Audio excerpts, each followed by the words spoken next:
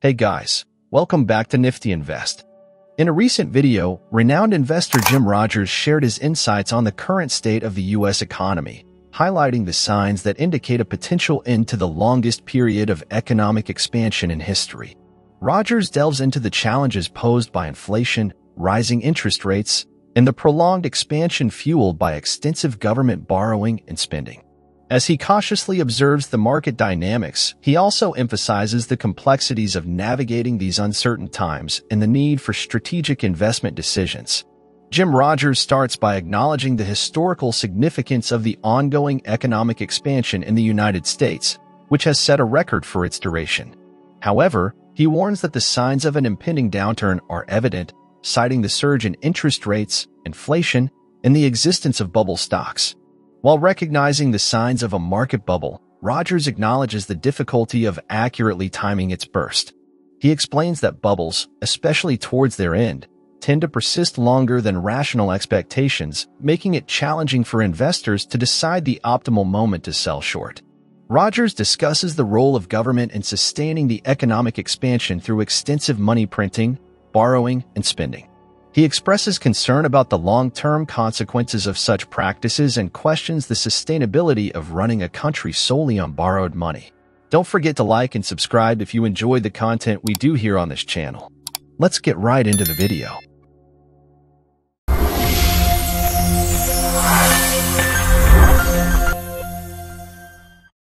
The U.S. economy has had the longest period of expansion without a recession in history certainly in recorded history anyway. So if you ask me just by history or time, it's coming to an end, I see the various signs. You see interest rates going, inflation going higher, interest rates going higher.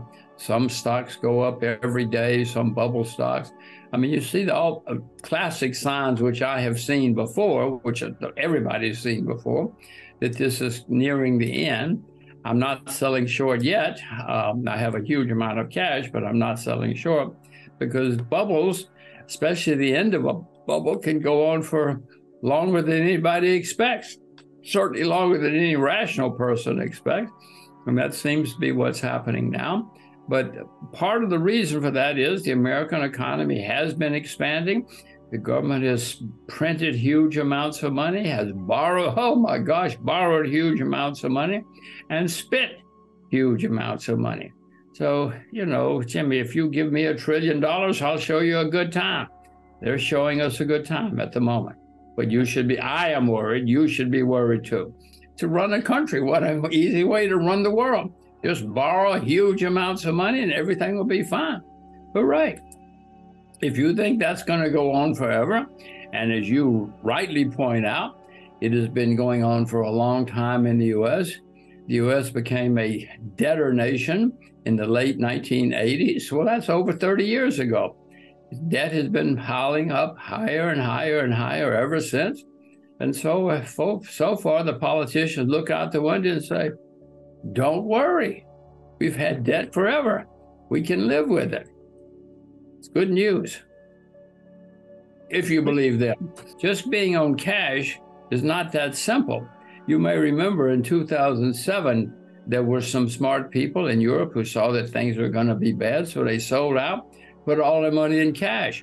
They put their money in Icelandic krona because it was yielding, it had a high yield.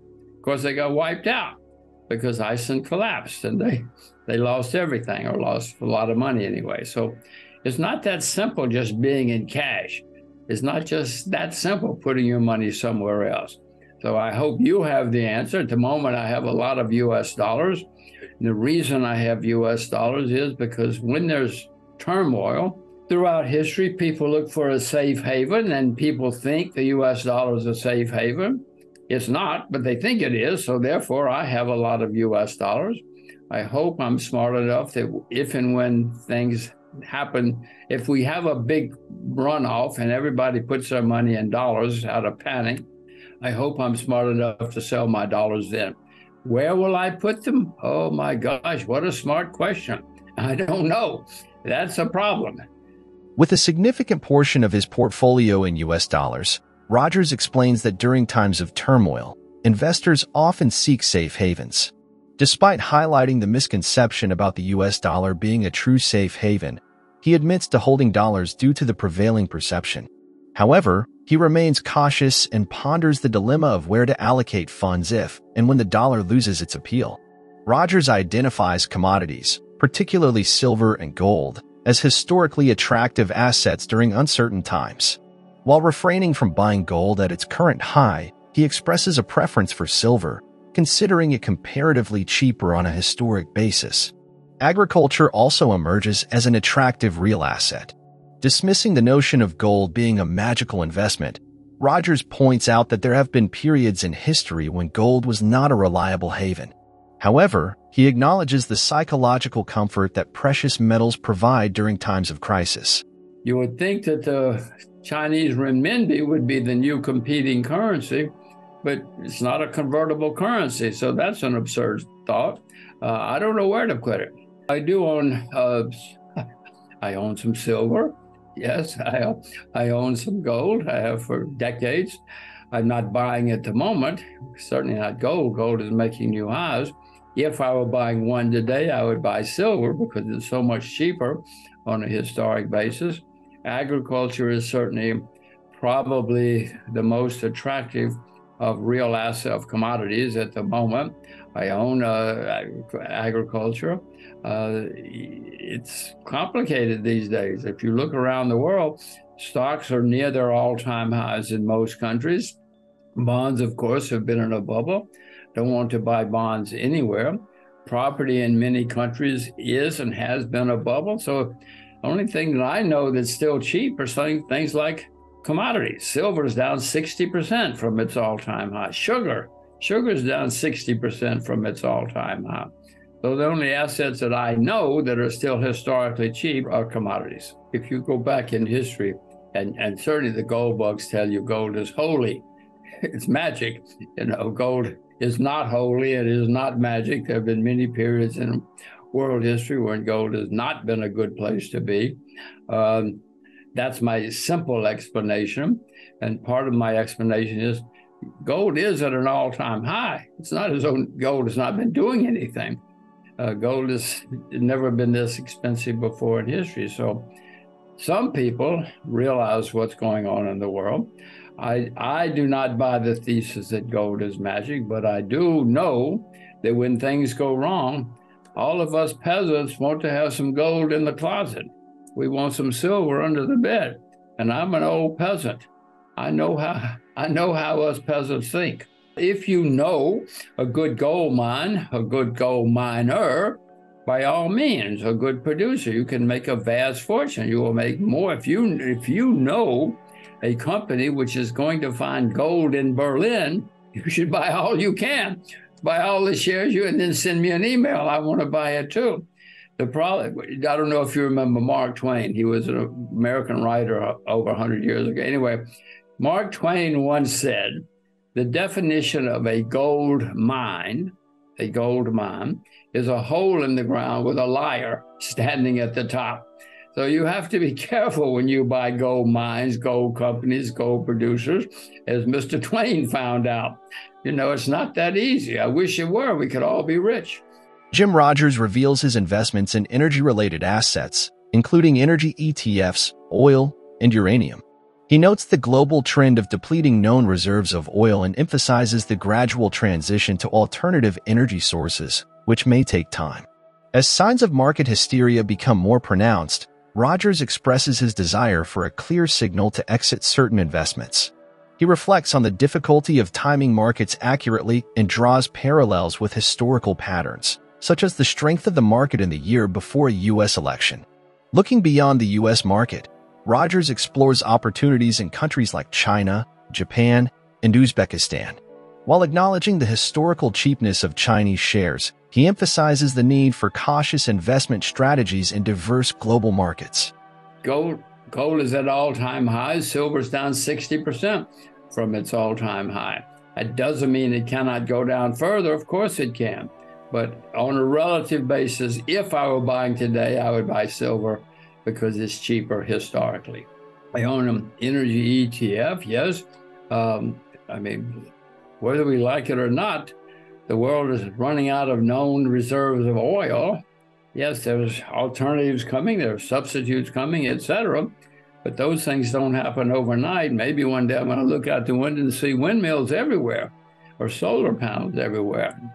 But those days are not here yet, and it's going to take a while. So, alternative energy and energy, natural gas, oil, things like that. Sure, I own some uranium. Uh, there are various and sundry ways to play real assets. There will come a time, I hope, when I will see that it's just total hysteria in the markets. Things are already going, some stocks are going up every day.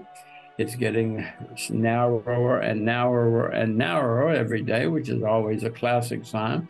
We're coming to the end, but I don't know. Uh, I wish I was smart enough to know how to time markets. If you go back historically, you see that every year before an election in the US, the market has been strong. And that's because everybody knows there's an election next year and all the politicians are doing their best to get everybody happy and you know satisfied. That's just a historic fact that politicians in Washington and in the state capitals are doing their best to make everybody happy because there's going to be an election next year. They know it too. This has happened. I think if you go back historically, you will see that every time it, there's a year before an election in the US, the market has been a good market. I don't see many. Uzbekistan, I have started making investments in because of major, I hope, major dramatic positive changes taking place but it's not all. You can't put too much money into Uzbekistan yet. You will be able to. I, you know, as I look around the world, Jimmy, I don't see many places that are still cheap. China is cheap on a historic basis. I have some Chinese shares, so I'm, I'm looking. Haven't found anything recently. Uh, the Japanese market is probably going to go back to all time highs. You know, it made its all time high in 1990 that is not a typo. 1990, been that long since the Japanese market was at its highs. Unfortunately, I sold my Japanese stocks a week or two ago because they went up so much. But I don't, I mean, I presume that one can still make money in Japan. I mean, not me, I'm out, but Japan, China, Uzbekistan, but there are not many places in the world where I see opportunities in stocks.